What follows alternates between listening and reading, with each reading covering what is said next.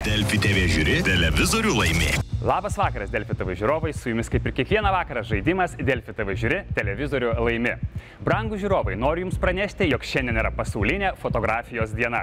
Geresnės progos dalyvauti mūsų žaidime ir nerasite. Dar neįkelite nuotraukos, nevėlu tai padaryti.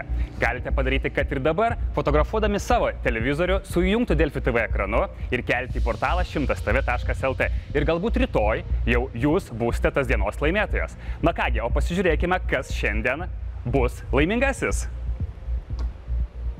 Ir laimingoji yra Janina Karanauskenė iš Radviliškio. Sveikiname Janiną.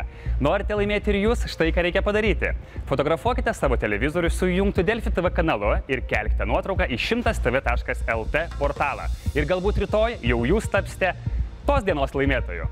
Sustiksime rytoj tuo pačiu metu per Delfi TV. Iki. Delfi TV žiūri, televizorių laimi.